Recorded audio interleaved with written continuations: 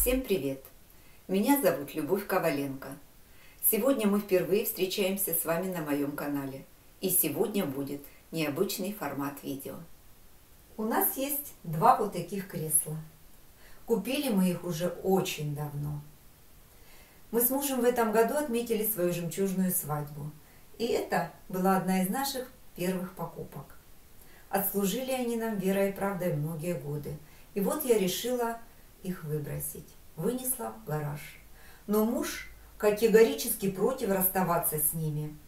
Я подумала и решила их обновить. Посмотрела на ютубе видео, как люди обновляют свою старую мебель и решила своими руками с минимальными затратами обновить наше кресло. Раньше я никогда не занималась переделкой мебели, занималась только переделкой старых вещей. Это будет мой первый опыт. Что из этого получится, я вам покажу. Вот так вот выглядит наше кресло. Уже старенькое, повидавшее виды. Потертое, обтрепанное. Лак на подлокотниках потрескался от времени.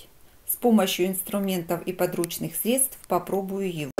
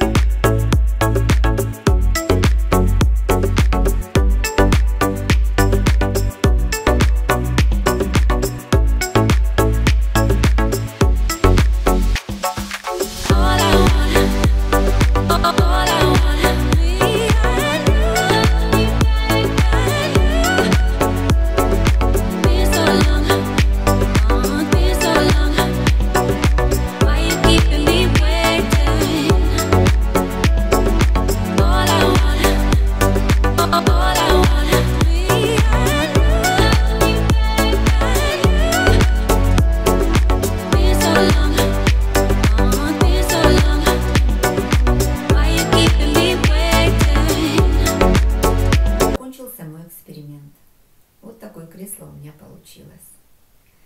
Немного изменила дизайн. Убрала подлокотники, поставила пуговицы. Мне кажется, так стало уютнее. А что об этом думаете вы? Напишите мне об этом в своих комментариях. Не скажу, что было легко. Болты, которые соединяют все детали кресла, не смогла раскрутить. Все заржавело от времени. Пришлось обратиться за помощью к мужу. Он обработал все соединения специальной жидкостью и все раскрутил. Также он заново укрепил все ножки на кресле. Со всей остальной работой я справилась самостоятельно. Ткань для перетяжки кресла я покупать не стала. Обошлась от той, что была дома. Так что бюджет семьи от моих экспериментов не пострадал. А у вас в гараже тоже пылится ненужная мебель? Пришло время экспериментировать. Хотела бы узнать ваше мнение. Пишите комментарии, ставьте лайки, подписывайтесь на мой канал. На этом я с вами прощаюсь. До встречи в новых видео.